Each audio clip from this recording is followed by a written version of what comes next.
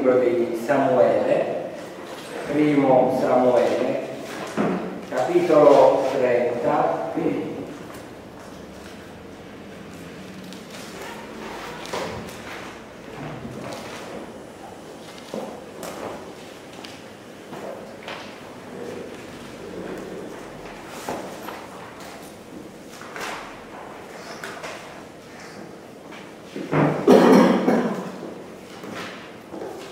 Dal verso 1 al verso 8.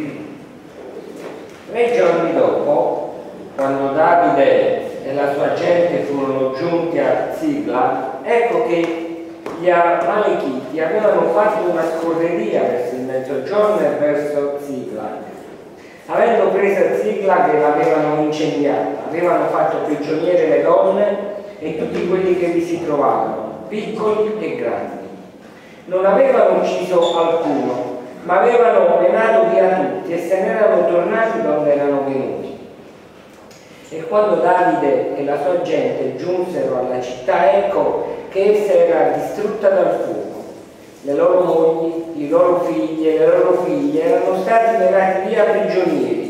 E allora Davide e tutti quelli che erano con lui alzarono la voce e piansero, finché non ebbero più forza di piangere.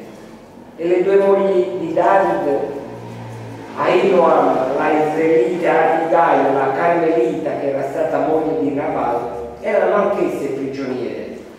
E Davide fu grandemente angosciato perché la gente parlava di lapidarlo. Ed essendo l'animo di tutti amareggiato a motivo dei loro figli e delle loro figlie, ma Davide si fortificò nell'Eterno, nel suo Dio. E Davide disse al sacerdote Abiatar, figliuolo di Ahimelech, ti prego, portami qua l'Efod. E Abiatar portò l'Efod a Davide e Davide consultò l'Eterno dicendo, debbo io dar dietro a questa banda di predoni? La raggiungerò io? E l'Eterno rispose, dalle dietro, perché certamente la raggiungerai e potrai recuperare ogni cosa. Fin qui la parola del Signore. Davide in questo periodo storico, in questo contesto, è in fuga da Saul. Sappiamo che Dio aveva permesso nella sua giovine età di far stare Davide alla corte di Saul, che suonava la cetra quando ecco, lo spirito di Saul si inacerbiva, o meglio, quando Dio inacerbiva lo spirito di Saul.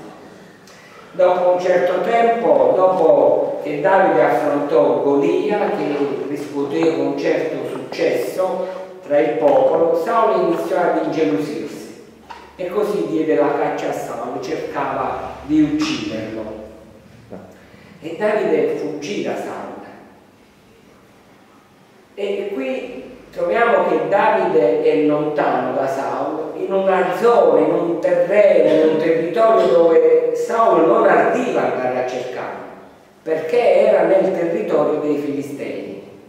Anzi, Davide aveva trovato grazia agli occhi del re dei Filistei, un certo Achis, capitolo 27 del libro di Samuele, e questo re aveva fatto anche dono a Davide di una città, Ziglag, quella che abbiamo letto così.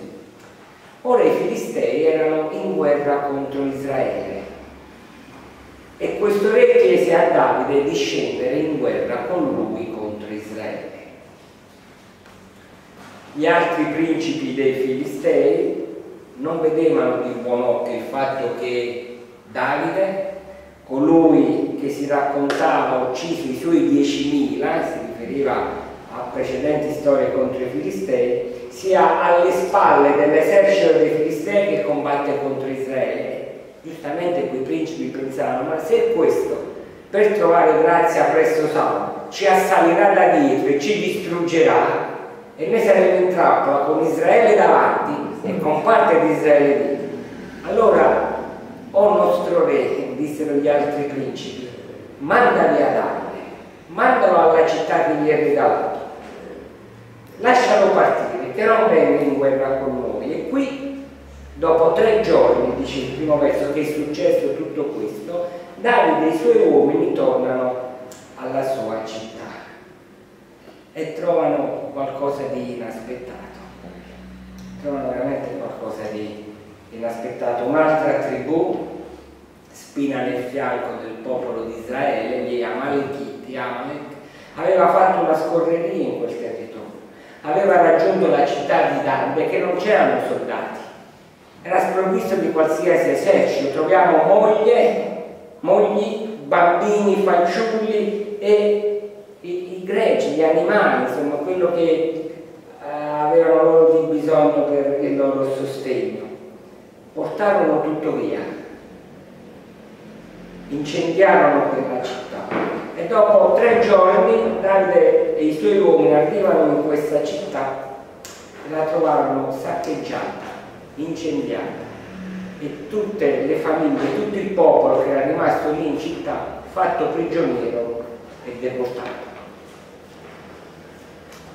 Tutto questo no, potremmo pensare ma cosa c'entra con noi? Ecco, torniamo forse tra un'ora. A casa nostra troveremo la nostra casa incendiata, saccheggiata, potrebbe succedere, potrebbe succedere, e, e, i nostri figli o gli altri parenti deportati via prigionieri, ma per ora non viviamo queste situazioni, però potremmo pensare ai nostri fratelli che per la loro fede sono perseguitati in alcune zone che veramente hanno messo a rischio ecco, tutta la loro vita. In Italia per ora non è così e ringraziamo anche il Signore per questo. Però questa storia vissuta da Davide fa pensare a qualche storia che noi potremmo vivere nella nostra vita dinanzi a degli ostacoli, a delle montagne che all'improvviso si affacciano nella nostra vita e che in qualche modo deprimono ecco, il nostro cuore, abbattono, annullano quello che potrebbe essere il nostro entusiasmo, fiacca, fiaccano le gambe per qualsiasi tipo di attività, di azione, di prosieguo nel cammino, facendoci perdere ogni forza.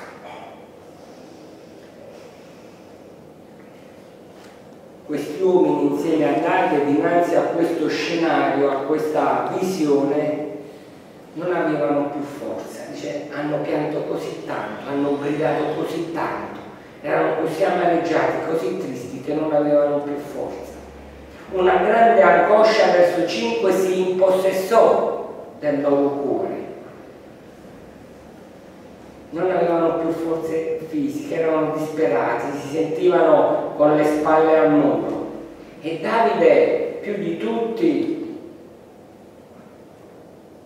sempre nel verso 6, dice che tutti questi, questi uomini fedeli a Davide parlava di lapidarlo, cioè individuava, vedeva in Davide la persona che in qualche modo era causa di tutti quei mali. Ecco, e Davide fu grandemente angosciato perché la gente parlava di lapidarlo, essendo l'animo di tutti amareggiato a motivo dei loro figli e delle loro figlie. In tutta questa situazione quale poteva essere ecco, l'atteggiamento di Davide, quale può essere l'atteggiamento di ciascuno di noi. Lo dicevamo in qualche modo pure stamattina nell'introdurre il culto, no? dinanzi alle difficoltà facilmente, molto facilmente. Le nostre labbra si chiudono, si chiudono alla lode dinanzi alle difficoltà, all'amarezza, all'angoscia profonda, in qualche modo talvolta ci si è, si è bloccati, fermi, statici, non più dinamici, piangendosi addosso e piangendo, ecco, impedendo qualsiasi tipo di azione. Ma in questa circostanza dove c'è stata una grande angoscia, dove ci sono stati dei fatti reali accaduti, no? l'incendio, saccheggio, la deportazione. Dice il testo, ma Davide si fortificò nel Signore. Davide si fortificò nel Signore. Noi, ecco, stamattina vogliamo cogliere questa esortazione del Signore. Fortificati nel Signore. Fortificati nel Signore. Paolo nel capitolo 6 degli Efesini c'è questa esortazione, fortificatevi nel Signore e nella forza della sua potenza. E poi illustra ecco, quello che è il combattimento cristiano, no? le lotte da affrontare, quelle che sono fortificati nel Signore nella forza della sua potenza. La prima cosa che vorrei dire è che fortificarsi in Dio non è una scelta che è vincolata a quello che fanno gli altri. Qui abbiamo 600 uomini, dice il testo. 600 uomini che erano tutti e 600 angosciati, come Davide. Tutti e 600 avevano ormai poca forza, erano amareggiati e tristi. Ma Davide non attende la decisione altrui. Non aspetta che altri insieme a lui facciano qualche scelta, no. Davide sceglie di fortificarsi in Dio e la sua scelta non è vincolata a quello che fanno gli altri. Ci ricordiamo pure un altro episodio, no? quando Davide è nella spelonca di Enghevi e Dio gli dà a Saulo lì a due passi, eh, a un a un metro da lui e c'erano tutti questi uomini nella spelonca, nel buio, in fondo alla spelonca, che in qualche modo stimolavano, gridavano a Davide di uccidere Saulo. Fortificarsi in Dio non è una scelta vincolata dagli altri, ecco il Signore ci chiama in maniera personale stamattina. Dinanzi alle difficoltà che posso vivere come singolo, che possiamo vivere come popolo, ecco, il Signore ci chiama a fare una scelta chiara e precisa. Non aspettare che altri, altri ecco, ti stimolano a fare una scelta del genere, a puntare gli occhi eh, sul Signore. Spesso succede che uno decide che inizia a, a, fare un cammino, altri si accodano, ma non c'è una vera convinzione no? di quello che si fa, o una vera decisione. Cosa succede? Quello che è successo in questo caso. 600 persone seguivano Davide anche nell'esercito dei Filistei, ma dinanzi alla prima difficoltà, occasione, avevano delle pietre in mano per, per lapidarlo, no? per, per uccidere fortificati in Dio.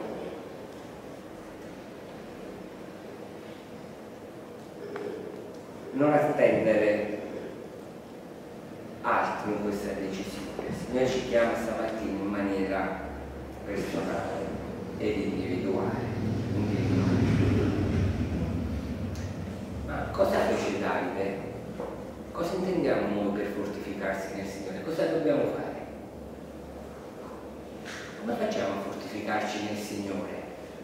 C'è questa esortazione, c'è questa esortazione e anche questo comando nella parola del Signore e qui vediamo che Davide si fortificò nel Signore. Sì, Signore, tu mi chiami a fare una scelta che non è vincolata dalla scelta degli altri, dei miei fratelli e delle mie sorelle, ma tu mi chiami in primis nell'esercizio della mia responsabilità a risponderti in maniera chiara e precisa. E Davide lo fece.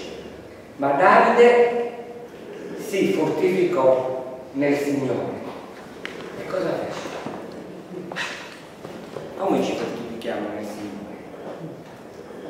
Come ci fortifichiamo nel Signore? Come accogliamo questa esortazione della parola del Signore?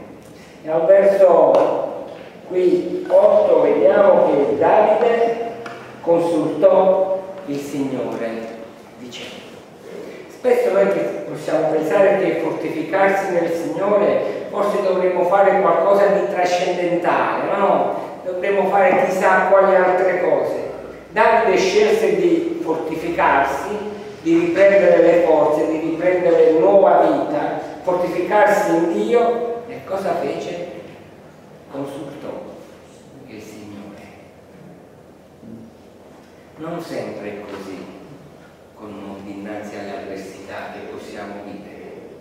dinanzi forse a quelle montagne che si presentano davanti a noi. Non sempre le nostre ginocchia si piegano e consultano il Signore. Forse noi dovremmo imparare, ecco, riscoprire quella che è la preghiera. Davide si fortifica nel Signore mettendosi all'ascolto. Noi pensiamo che attraverso la preghiera sia solo un nostro parlare a Dio, no? Attraverso la preghiera noi parliamo con Dio, no? Attraverso la preghiera e la preghiera stessa include questo ascolto di Dio. E Davide si mette all'ascolto di Dio, non d'ascolto alla rabbia che poteva esserci nel suo cuore, all'amarezza, alla depressione, allo sconforto, allo scoraggiamento.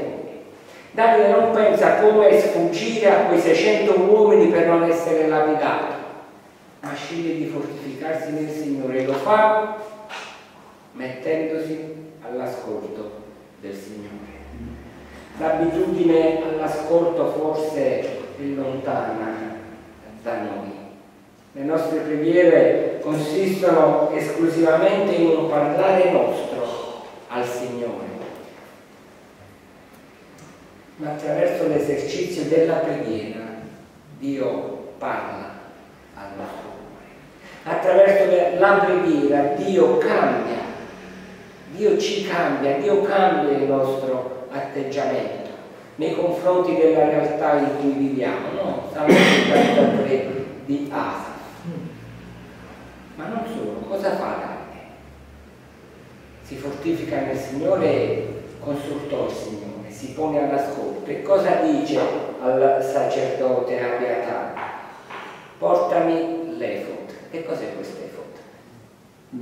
Era un paramento sacro che i sacerdoti, Esodo 28, Dio dice di fare in un certo modo in un tessuto, con delle spalline davanti di dietro, i sacerdoti dovevano avere, ecco, dovevano indossare nell'esercizio eh, delle loro funzioni. E c'era un particolare però su questo epodo, sulle due spalline, destra e sinistra, qui c'erano due pietre, due pietre Signore dice così in Esodo 28, di incastronare due pietre, su queste due pietre c'era il nome delle dodici tribù di Israele, che il sacerdote doveva portare sulle sue spalle quando entrava ed invocava il Signore. Questo in qualche modo mi ha fatto pensare, ecco, sia che le vicende del popolo di Dio non sono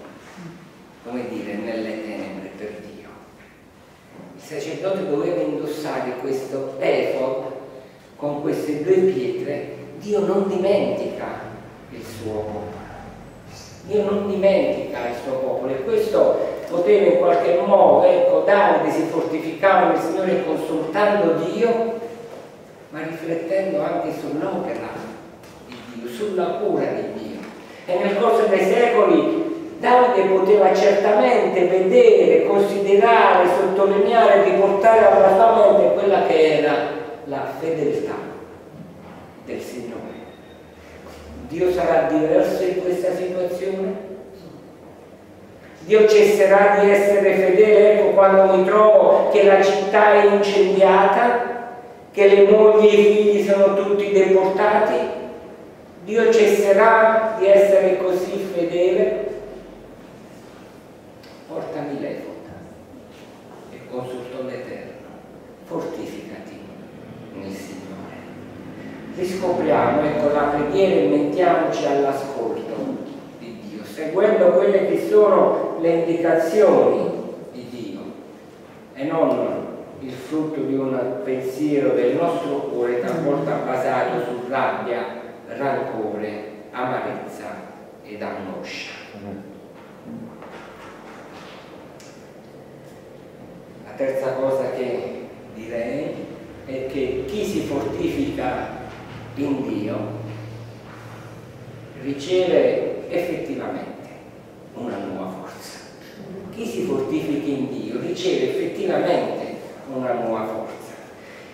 Tre giorni di cammino, no? il popolo è stanco, dinanzi alla distruzione della città è oppresso, non ha più forza, addirittura nell'inseguimento di, di Amalek, di questa tribù, 200 uomini si fermano per strada, leggiamo nel prosieguo del cammino, non ce la fanno più a proseguire, sono stanchi, esausti, non hanno più forza. Ma al verso 17 dice che Davide con altri 400 uomini raggiunge quella tribù e combatte per 24 ore. Per 24 ore li raggiunge e affronta questo combattimento. Ha raggiunto quella tribù già senza forza. Ma Dio ha rinnovato le sue energie perché ha scelto di fortificarsi nel Signore. 24 ore di combattimento. Ma dove ha preso Davide tutte queste energie, tutta questa forza? L'ha presa da Dio che gli ha parlato e lui ha ascoltato nella sua consultazione. Ma abbiamo, cari fratelli, anche un altro esempio di un'altra persona, della seconda persona della Trinità, del Figlio di Dio, di Gesù Cristo. Noi spesso quando pensiamo al Signore Gesù pensiamo che nella sua vita terrena, nelle sue vicende umane, egli non possa mai essere stato triste, angosciato o in grande difficoltà. Ma la parola del Signore lo dice in maniera molto chiara. Quando si trova, ecco, il nostro Signore Gesù nel giardino del Getsemani, Luca 22 o Matteo 26, tutti gli Evangeli riportano questo episodio. E lì anche leggiamo che il Signore Gesù è angosciato, l'anima sua è oppressa da tristezza mortale. È solo. I suoi discepoli, ci dice il testo, non riuscirono ad essere svegli, a vegliare, a pregare con lui, ma si addormentarono lì, in quel giardino. E Gesù pregò il Padre, Gesù consultò il Padre, Gesù si fortificò nel Padre, alzando la sua voce, pregando, ci dicono i testi, per tre volte Gesù pregò Spesso noi abbiamo l'idea che la nostra preghiera deve limitarsi a qualche minuto, forse cinque, o quando siamo nella nostra cameretta, ecco, la nostra preghiera è limitata a un brevissimo tempo. Ma la preghiera che Gesù fece nel giardino del Getsemani fa pensare a qualcosa di molto più lungo. Pregò per tre volte, i discepoli si addormentarono, quindi c'è stato del tempo nonostante erano così stanchi, ma si addormentavano, è passato un lungo tempo dove Gesù cerca eh, il Padre, dove cerca di fortificarsi nel Padre, pregò il Padre, consultò il Padre, fece la scelta che onorava il Padre, non quella che veniva, poteva essere dal suo cuore. Gesù aveva dinanzi la realtà della croce era giunto il tempo, lo aveva annunziato ai discepoli, è giunto il tempo. È giunto il tempo che insieme al Padre e allo Spirito abbiamo pensato dall'eternità, è giunto il Calvario, è giunto il Golgotha, è giunto il momento in cui la seconda persona della Trinità doveva essere immolata. E lì la realtà della croce davanti a lui lui è angosciato e triste, ma sceglie di fortificarsi nel Padre. Però qui succede qualcosa di straordinario. La realtà non cambia. Dinanzi al Signore Gesù c'era la croce che gli dava angoscia, tristezza, c'era un percorso duro da affrontare, consultò il Padre, si fortificò nel Padre, ma la realtà non cambia, la croce rimane. Ma così dice l'autore agli ebrei. Per la gioia che gli era posta dinanzi, sopportò la croce. Che cambiamento. La realtà talvolta intorno a noi non cambia, restano ecco forse una città incendiata e saccheggiata, ma quando ci si fortifica nel Padre, quando si parla con il proprio papà, no? Con colui che non dimentica il suo popolo, forse la realtà non cambia, ma cambia quello che è il nostro atteggiamento. Per la gioia che gli era posta dinanzi, Gesù sopportò la croce, egli vede il frutto, il tormento dell'anima sua e ne sarà saziato. Per la forza Gesù sopportò la croce. Forse la nostra realtà, nelle nostre avversità, nei nostri problemi di salute, viviamo situazioni in cui ecco, non sappiamo quale strada prendere. Vorremmo fare la cosa giusta, vorremmo fare la cosa per noi Signore, ma le situazioni talvolta sono come delle montagne dinanzi a noi, troppo grandi per noi e come Davide, come il Signore Gesù, possiamo fare la scelta di fortificarci nel Signore, coltivando quella che è la nostra comunione continua, giornaliera con il nostro Signore, consultando l'Eterno, consultando il Signore, ponendoci all'ascolto del Signore e aspettando anche che il Signore faccia chiarezza in quella situazione della nostra vita. Può forse passare qualche ma Signore non dimentica il suo cuore. I nostri nomi, dice il libro dell'Apocalisse, sono scritti già nel libro della vita. Gesù già ha segnato i nostri nomi. Ecco le pecore che il Padre mi ha dato non si perderanno mai.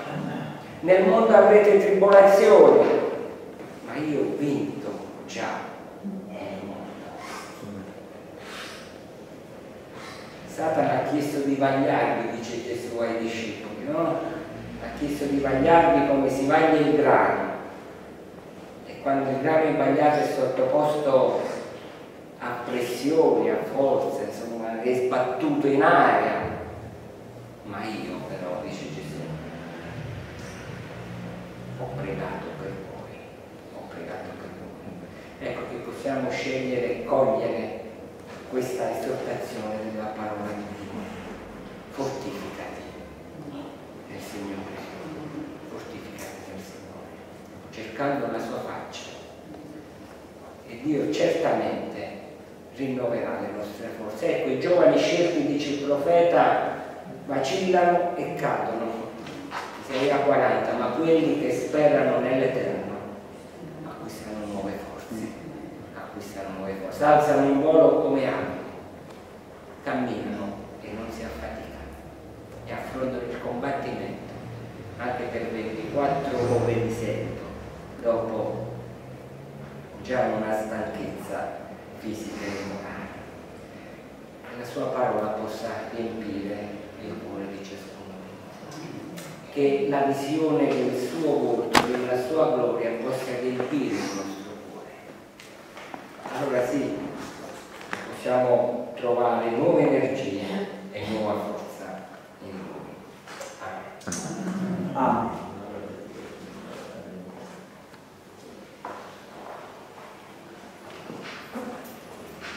Signore ti preghiamo che grazie Signore i nostri occhi possano essere del continuo puntati su di te. Spesso Signore ecco noi non sappiamo aspettare, non siamo pazienti. Le situazioni, le vicende della vita ci creano Signore in qualche modo ansia, sconforto, debolezza, amarezza.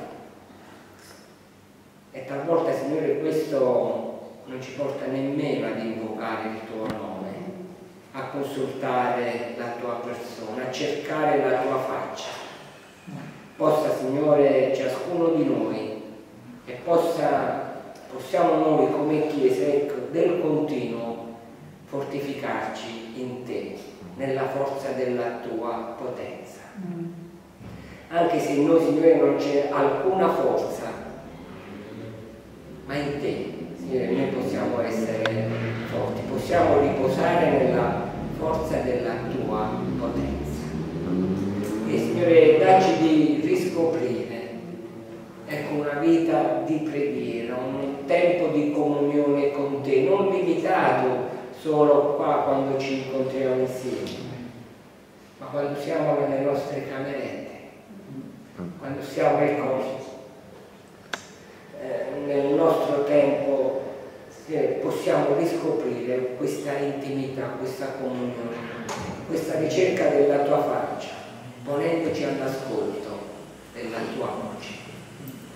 Ti ringraziamo per il Signore Gesù che si fortificò nella tua potenza e scelse, Signore, di continuare ad andare lì su quella croce per il cui sacrificio noi siamo adesso qui davanti alla tua presenza. Ti ringraziamo, Signore, e ti preghiamo, Signore, ecco, di consolare il cuore di ciascuno di noi con la tua parola. In Gesù Cristo ti preghiamo. Amen. Amen.